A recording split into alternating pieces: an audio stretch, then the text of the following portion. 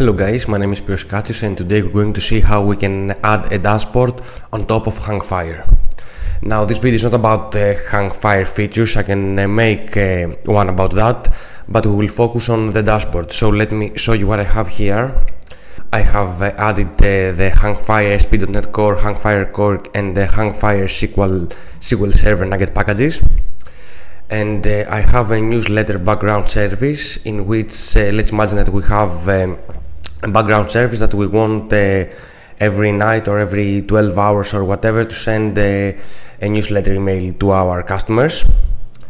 And I have a controller, a customer controller in which I have um, a post, let me make that HTTP post uh, and a post action in which we create a customer and we want to send a welcome email to that customer but we want to do that asynchronously we could have uh, we could publish an event to another service but in this example we use a hangfire so what uh, that line will do is that will enqueue an action and uh, in our case it's the send welcome email action coming from our email service and it will return the response to the customer without waiting that the send welcome email method uh, to finish. So how Hangfire does that? Well, it creates a database. Uh, you give it a connection string and it creates a database. So uh, on the background asynchronously runs these enqueued jobs. So that's uh, how we can enqueue jobs and in here I have my recurring job which is the newsletter background service so all I did is uh, set recurring jobs that are update, specify the, the type of the background service. Now for the name of the recurring job, I just uh, put the name of the newsletter background service and the task uh, and the method I want to run on the background is the run async method. Let me go, it's just an empty method. Let's imagine that it sends some newsletter or I don't know, something like that. And uh, I set it to run every minute so we can uh, see it. Now all I'm going to do is I'm going in my middleware configuration and I'm going to say app.use hangfire dashboard. And now I need to specify the route of that. Let's say hangfire and uh, we can pass some options as well. So I'm going to say new dashboard options and we can uh, specify a lot of things in here. Let's say for example we want the dashboard title to be I don't know my dashboard so if I run that now it uh, will go the first time and create all the tables needed uh, in the database. So if I go and navigate to Hangfire we can see we have our dashboard. We have a lot of information here. For example, I have my recurring jobs and that's the newsletter background service and we can trigger it manually now if we want. We can delete that. And let me also make a post request to that customer endpoint. So we get back that OK uh, immediately. Uh, although our email service has a 5 uh, seconds delay and uh, we also have a new exception so we can see what will happen then.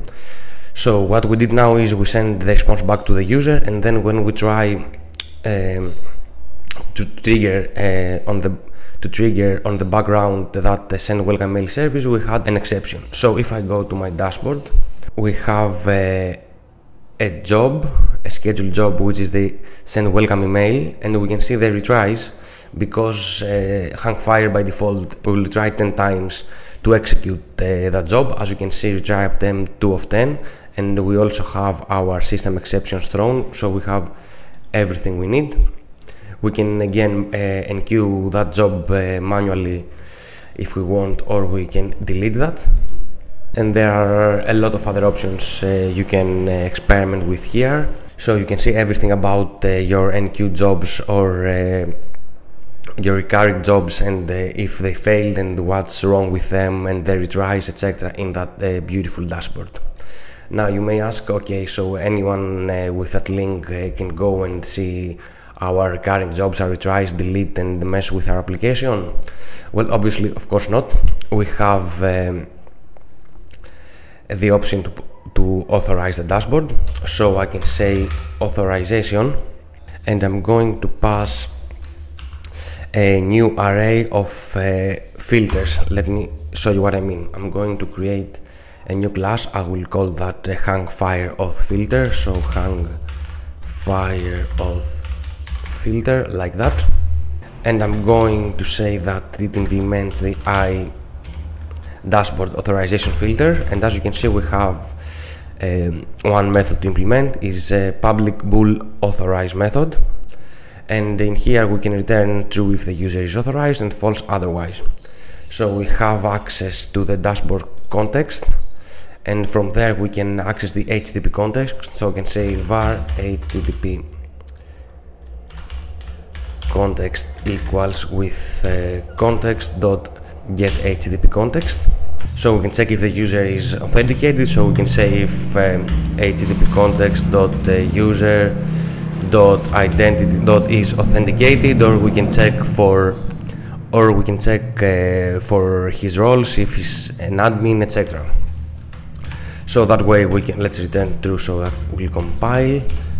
So that's uh, how we can add authentication. Now we can use that filter so we can say new hangfire auth filter.